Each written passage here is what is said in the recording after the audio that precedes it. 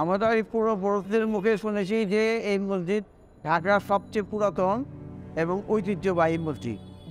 আমার বাবারা চাচারা দাদারা সবাই এই মসজিদে নামাজ নিয়মিত মসজিদে ছিল। আমার দাদারে জিজ্ঞেস করতাম যে বাবারে জিজ্ঞেস করতাম যে তোমরা কি মসজিদ দেখছ কি না তা আমার বাবা বলতো যে "ধর, তো আমি যে আমার বাবারে জিজ্ঞেস করছি তারাও দেখেনি তাই সে তার বাবারে জিজ্ঞেস করছে। তার মানে আমার দাদার দাদাও যদি জিজ্ঞেস করছে তারাও কিন্তু দেখেনি তারাও কিন্তু বলছে যে আমরা এই মসজিদ জন্মের পরের থেকেই আমরা এই মসজিদে নামাজ পড়ি।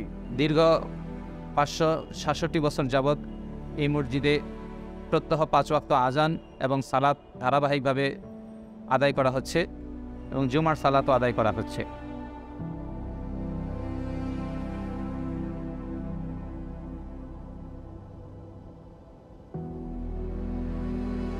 বিনোদ দেবীর নামটা শুনলাম আমাদের বাপ দাদাদের মুখেই আমরা তো তাদের চিনি না। তারাই বলে গেছে অনেক দূর দূরান্ত থেকে অনেক লোকজন আসে আমাদের এই মসজিদে দেখার জন্য। অনেক বিদেশি মেহমানরা আইসা এখানে আপনার ভিডিও করে নিয়ে যায় ছবি তুলে নিয়ে যায়।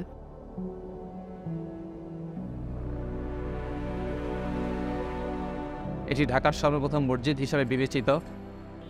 আমাদের এই মসজিদের পুরাতন অংশটি আটশোশো একষট্টি হিজড়িতে সর্বপ্রথম নির্মিত হয়েছে। আমরা উজু করতাম সামনে একটা উজুখানা ছিল হাউস বিশাল বড় ওইখানে অনেক আনন্দ লাগতো আমাদের। এই পুরাতন অংশে প্রায় ষাটটি কাতার রয়েছে ষাটটি কাতারে দেড়শো লোক নামাজ আদায় করতে পারেন এবং পিছনে বর্ধিত যে অংশ আছে সেখানে সতেরোটি কাতার আছে।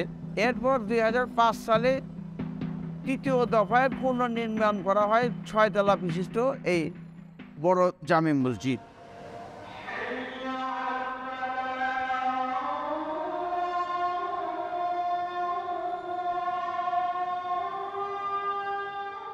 এখানে অনেক কিছু মসজিদের টুকিটাকে সংস্কার করতে হয়। আস্তর যদি অনেক সময় ছুটে যায়, ওটা আমরা এই কমিটির মাধ্যমে এটা সংস্কার করা হয়।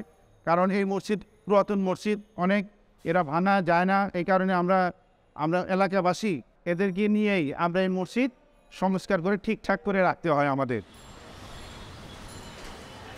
আল্লাহ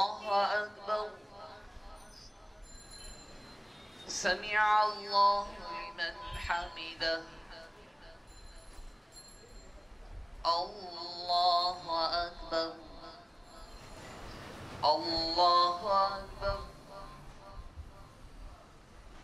الله أكبر.